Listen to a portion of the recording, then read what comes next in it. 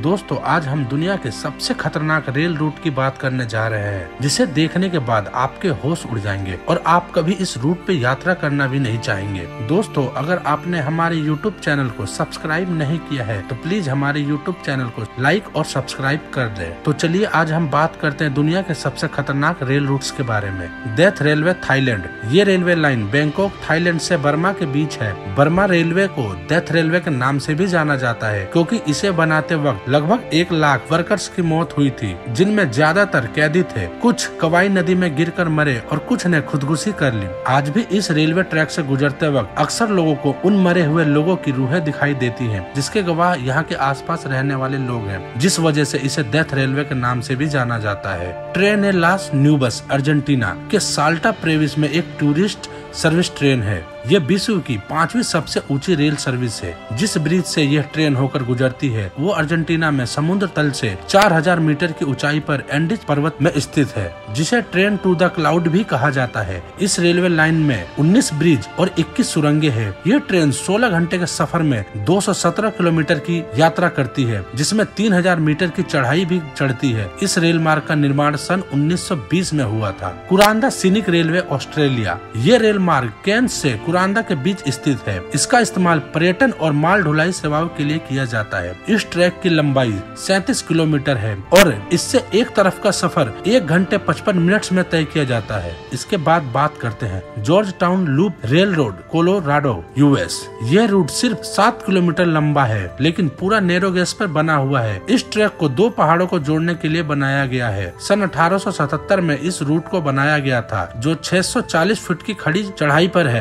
जिन लोगों को ऊंचाई से नीचे देखने में डर लगता है, ये रूट उनके लिए बिल्कुल भी नहीं है। इसके पुलों और तीखे मोड़ों पर ट्रेन बहुत धीरे और सावधानी से गुजरती है। नीचे हज़ारों फीट गहरी खाई है और तेज़ी से दौड़ती ट्रेन सबको रोमांचित करती है। ट्रांस साइबेरियन रेलवे रूस, ये विश्व का सबसे बड़ा रेल मार्ग है। ये रेल मार्ग मास्को से लेकर रूस और जापान के समुद्र को जोड़ता है। साथ ही ये मंगोलिया, चीन और उत्तर कोरिया को भी जोड़ता है। इस रेलवे ट्रैक की लंबाई नौ हज़ार दो सौ नवासी किलोमीटर है। इसका निर्माण 1981 से 1916 के बीच में हुआ था। Napier ग्रिसबोन railway line New Zealand Napier से ग्रिसबोन तक का ये रेल मार्ग अपने आप में ही अनोखा है, क्योंकि ये ग्रिसबोन के एयरपोर्ट रनवे या या फिर हवाई अड्डों के मुख्य रनवे से होकर गुजरता है। एयर ट्रैफ़िक कंट्रोल रूम की अनुमति के बाद ही ट्रेन यहाँ पर बनी पटरियों से गुजर सकती है।